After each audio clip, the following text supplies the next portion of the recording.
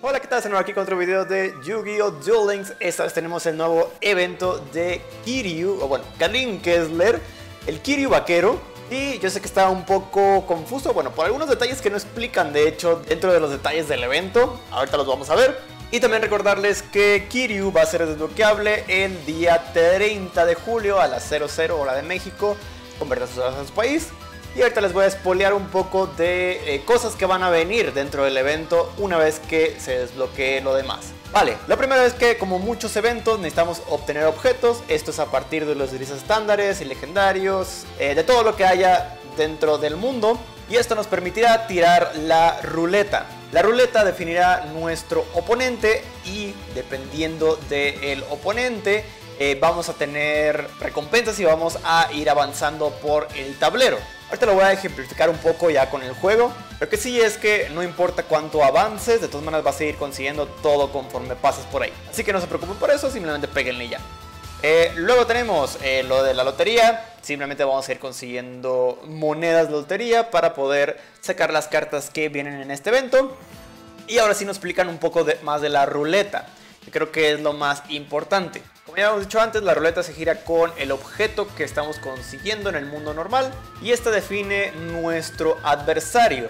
También la ruleta tiene eh, un bonus que es otro adversario, nada más que va a tener un poco más de recompensas. Eso quiere decir, va a tener un múltiplo. Aquí cerramos esto, eh, vemos que en la primera zona eh, hay un múltiplo de 2 para Kiryu. Esto quiere decir que vamos a avanzar lo mismo que avanzaríamos con el Kiryu normal, multiplicado por 2 y además todas las recompensas que obtengamos, las monedas, se van a multiplicar también por 2. Eso es importante. Ahora, ¿cómo se define? Simplemente ven los colores. Si se fijan, el primero, el de más abajo, tiene el color negro, Luego Kiryu lo tienen azul y luego el bonus lo tienen dorado. Eso quiere decir que en la ruleta aquí vemos que hay más posibilidades de que tenga el personaje que no queremos. Luego Kiryu es el azul y luego el dorado que es muy poco probable que aparezca es el del bonus. Pero esta probabilidad va a ir aumentando conforme le piquemos una vez. Eso quiere decir esto se va a ir viendo en estas steps, es lo que no dice el evento. Los steps van a ir aumentando nuestra probabilidad, como dije, de que nos aparezca el bonus. El primer step tiene muchas probabilidades de que nos toque el otro way que no queremos. Luego avanza al siguiente y ya tiene muy pocas probabilidades, tiene muchas probabilidades de que salga el azul. Y ya tenemos probabilidades de que salga el otro. Y bueno, ya le piqué sin querer. Vamos a hacer el ejemplo. Como dije, pues bueno, nos salió este, ¿no? Y otra cosa que no explican es que una vez que ya nos sale el bonus, se reinicia. Eso quiere decir se va hasta abajo. Pero bueno, terminemos con los detalles del evento. Nos quedamos en lo del bonus. Eh, luego tenemos los duelos especiales. Esto es que en algunas zonas vamos a tener eh, otro tipo de duelos. Ejemplo, en la zona 2 vamos a tener turboduelos. Y aquí nos explican cómo son los turboduelos. En este caso vamos a tener la habilidad EX de velocidad de aceleración, creo que es la misma que el anterior evento. 4 contadores, 200 puntos de ataque, 6 contadores, un monstruo de nivel 4 o menor se puede jugar desde la mano. 8 contadores robar una carta y 10 contadores destruir una carta en el campo.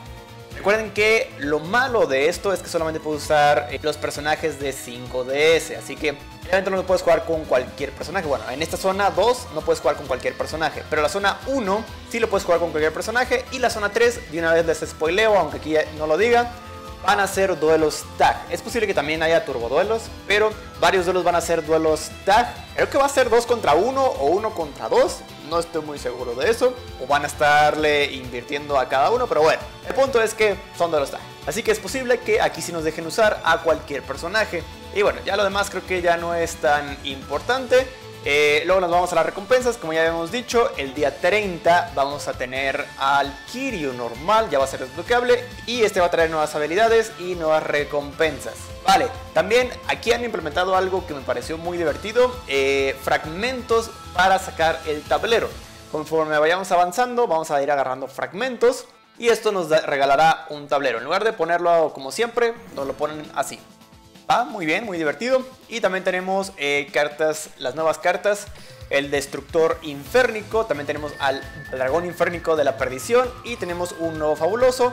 Todo esto está en la lotería. Si nos vamos por acá, podemos ver estas recompensas. Tenemos al Doom Dragon, Inférnico y el Fabuloso, además de cartas que ya habíamos tenido antes. También nos están dando gatos de mar agüero, por si a alguien le hace falta algunas copias, que nos da Ishizu por subir de nivel. Vale, Eh, también tenemos las recompensas por pasar cada uno de las zonas. Cada zona tiene tres rondas en donde nos van a ir dando eh, alguna recompensa especial. Eh, dice que después de la tercera ronda ganarás joyas Rs. Estoy seguro que también durante el tablero van a haber algunas gemitas extras también por si los quieren pasar otra vez. Vale, y aquí no nos dice lo de la zona 3, pero de una vez les spoileo que es muy posible que nos den dos cartas inférnicas más dos cartas que van a ser SRs. Aquí en teoría deberían de darnos las URs que hacen falta, pero creo que nos van a dar dos cartas inférnicas más, ya que no aparece por ningún lado. Esas son el general inférnico y el arquero inférnico. Pero bueno, esta es una suposición, también podría ser que nos lo dé el Kiryu por subir de nivel. Vale, y ahora sí, vamos a dar el ejemplo de lo de la ruleta. Nos cayó puramente este güey, así que vamos a pegarle a este güey, vamos a usar un autoduelo rápidamente. Eh, yo creo que voy a poner cámara rápida para no tener que chutarnos todo el duelo. Va, ahorita nos vemos.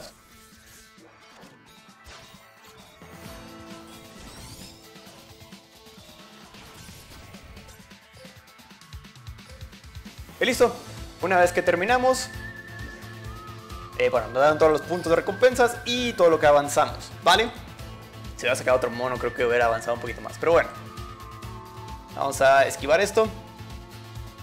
Y ahora sí, como les dije, la ruleta ya aumenta su probabilidad de que nos salga algo mejor. Y bueno, algo que se me dio a mencionar es que también avanzamos un poco más gracias a las misiones que nos piden. Una vez que tenemos un duelo, cambian las misiones. Pero bueno, es un poco el avance extra que nos dan, así que creo que lo que más nos importa son estos avances por derrotar. Vale, lo voy a dar otra vez, lo más seguro es que me toque en dorado. Yep, no sé por qué las primeras rondas siempre caen dorado. O sea, nunca llevamos al nivel 3 por alguna razón. Creo que esto es porque el nivel 3 ya no tiene el que no queremos. Prácticamente el nivel 3 ya es solamente azul y dorado. Vale, de nuevo voy a ponerle el duelo automático y para que vean que las recompensas se duplican por 2.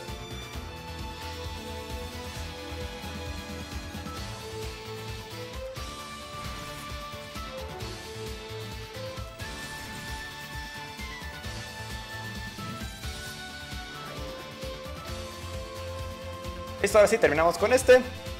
Aplicamos más de 4000, pero aquí está. Eh, victoria del duelo, lo que vamos a avanzar va a ser por 2 y también las monedas que nos van a dar van a ser por 2. Vale, entonces se duplica todo, avanzamos y ahora sí obtuvimos también eh, fragmentos de eh, lo que es el tablero. Vamos a saltarnos esto y aquí está el tablero.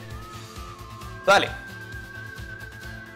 y listo, así es como se juega el nuevo evento. Para cambiar de zonas es puramente por aquí. Nada más que necesitamos completar la primera zona para desbloquear la segunda. Aquí en esa segunda zona son los turboduelos. Y luego a partir del día 30 que se desbloquea también Kiryu. Eh, se desbloquea la tercera zona. Y como dije es muy probable que ahí sean duelos tag. Listo, creo que eso es todo lo importante a conocer de este evento. Díganme ustedes en los comentarios si se me pasó algo por alto. Por mi parte, eso sería todo. Muchísimas gracias por ver este video. Recuerden dejarle like si les gustó. No olviden suscribirse al canal si lo han hecho. Y nos vemos en la próxima. Bye bye.